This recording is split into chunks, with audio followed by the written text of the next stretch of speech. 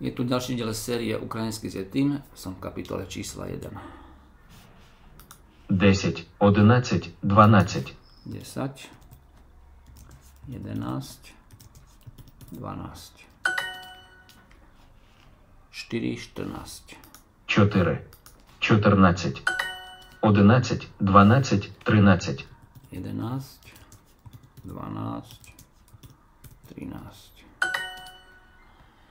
Je to číslo 14?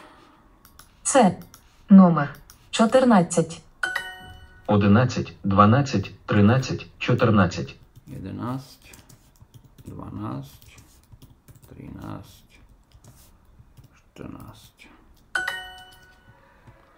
Toto je stavba číslo 13. це будинок номер 13, 13 років. 13 rokov.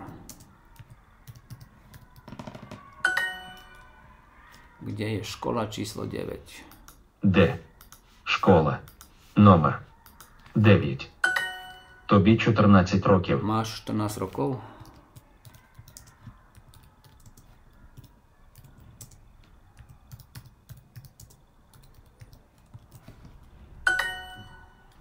Девять, десять, jedenáct. 9, 10, 11. Meny 10 roky. Ja mám 10 rokov. 8, 9, 10. 8, 9, 10. Mám 12 rokov. Mení 12 rokov. Toto je dom číslo 9. C. Будинок номер 9. Де будинок номер 11? Де є дом число 11?